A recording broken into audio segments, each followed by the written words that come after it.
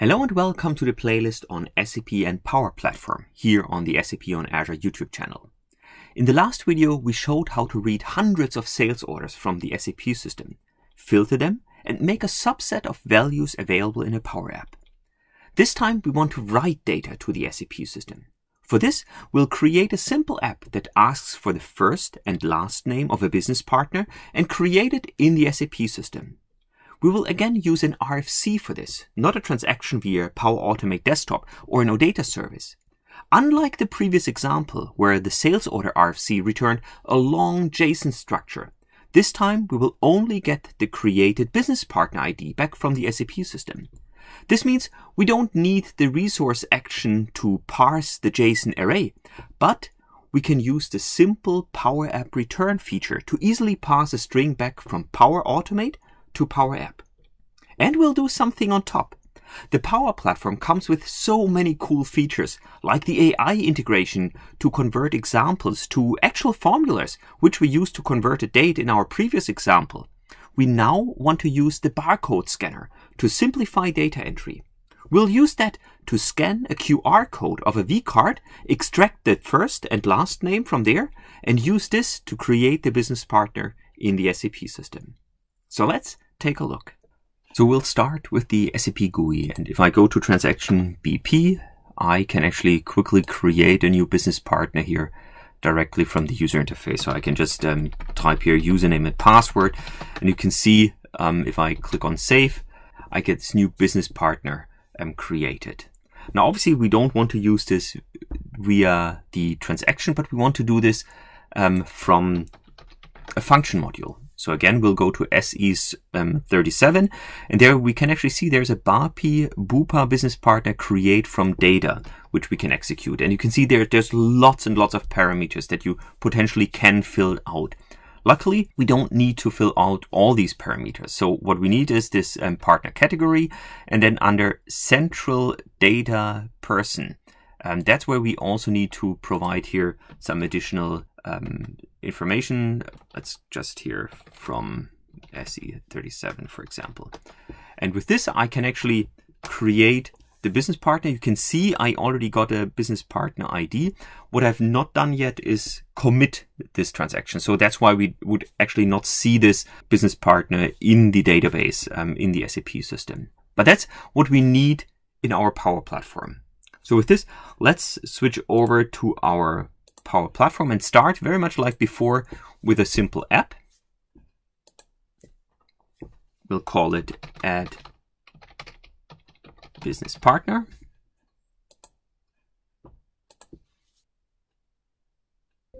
And we can quickly get started. We saw we need two input fields. So one for the first name and one for the last name.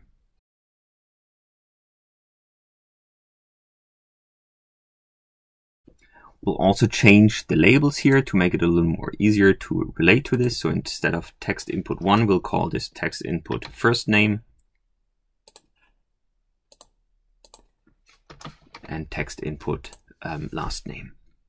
That's almost it. We just need one more button to actually obviously call our Power Automate flow again, and then we're all set. So Let's connect this button to a Power Automate flow. We don't have the Power Automate flow yet, so very much like before, we just create a new flow. And we'll create from blank. We'll change the name to create BP. And now, very much like before, we can just add a new step. We want to call our SAP system using the ERP connector via this call SAP function v2 we add the SAP connection details, and then we search for our um, BAPI Bupa create from SAP.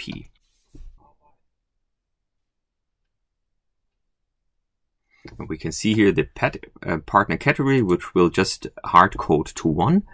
But then there are also additional parameters that we can select from. And we learned um, it's here this central data person first name and central data person last name. These are the two fields that we want to expose. Obviously, we could add much, much more, but in our simple scenario, we'll just select these two. And for both of these parameters, we want to ask um, the Power App to provide us with dynamic variables. So what we'll do is here, for the first name, we'll select ask in Power Apps, and very much for the second, for the last name, we'll do the same thing. We'll also ask in Power App. That's actually all there is. With this, we can create the business partner in the SAP system. Um, but as we saw when executing the um, function module directly in SE37, what we also need is we need to commit this transaction. So what we'll do is, is um, we'll just select here auto commit to yes, which really means that uh, the business partner is not only created, but it's also um, committed to the SAP system. With that, there's only one step left. We obviously want to maybe um, show the business partner ID that was created in the SAP system back in the Power App.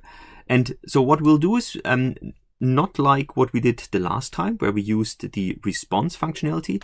This time we want to use another way to return data back to the Power App. And that's the respond to a Power App or flow.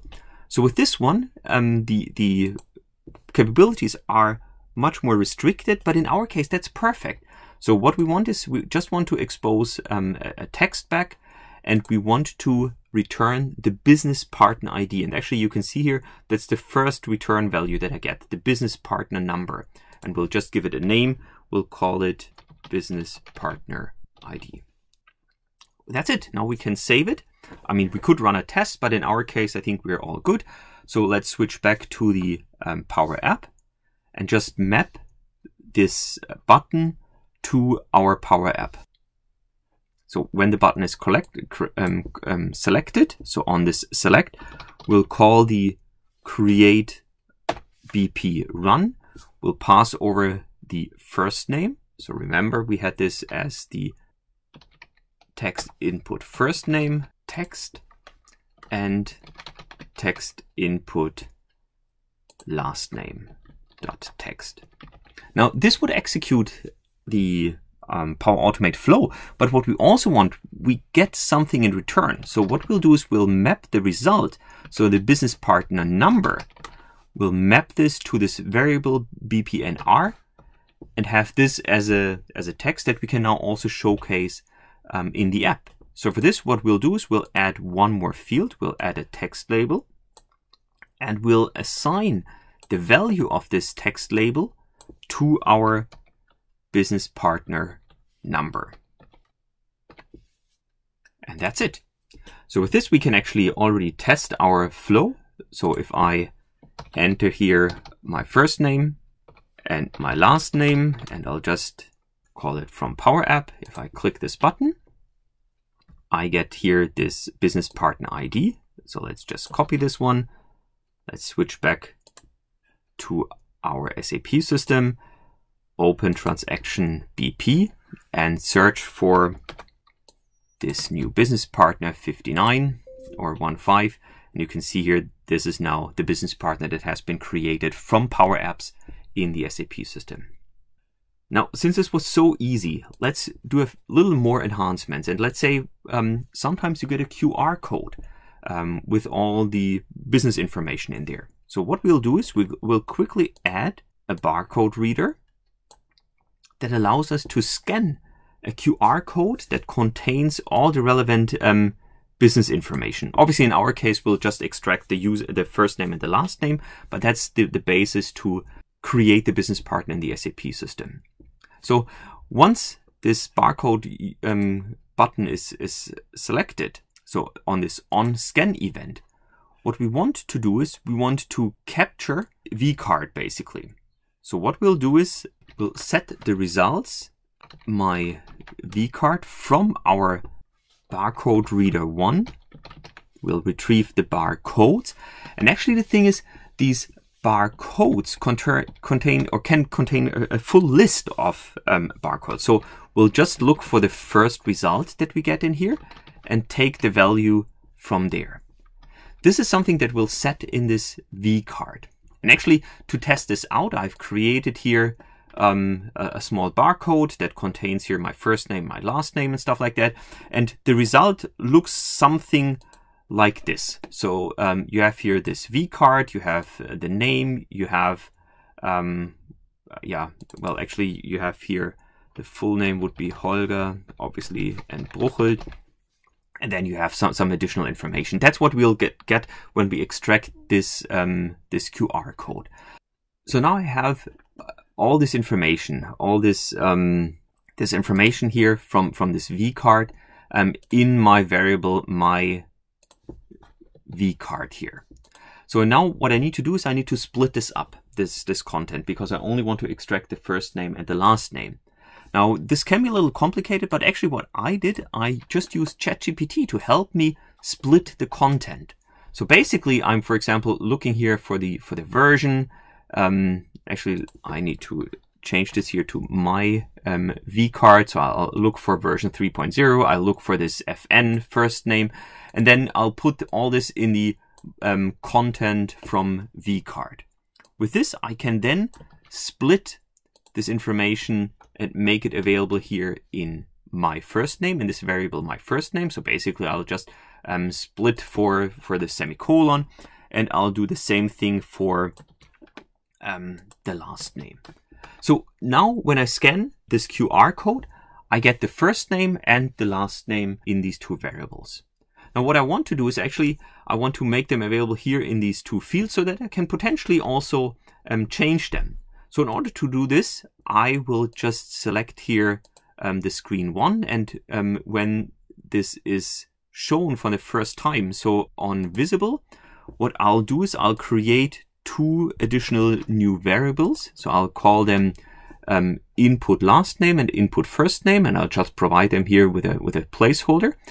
And then when these two variables are created, I want to map them here to the input field. So I'll call this input first name, and this one is the variable input last name.